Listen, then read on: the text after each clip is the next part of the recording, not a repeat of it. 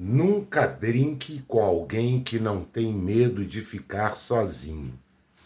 Sempre me intrigou a força interior daqueles que não temem a solidão.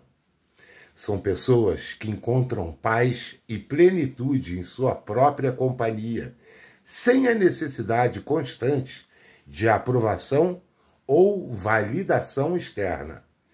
Em um mundo em que valoriza tanto a interação social e a extroversão, essa postura pode parecer estranha ou até mesmo ameaçadora para alguns.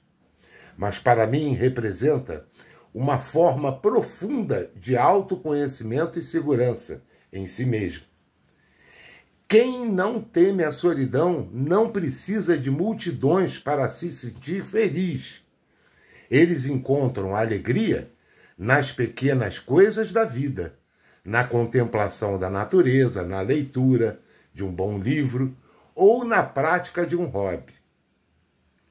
São pessoas que sabem valorizar o silêncio e a introspecção, momentos preciosos para conectar-se com seus próprios pensamentos e sentimentos.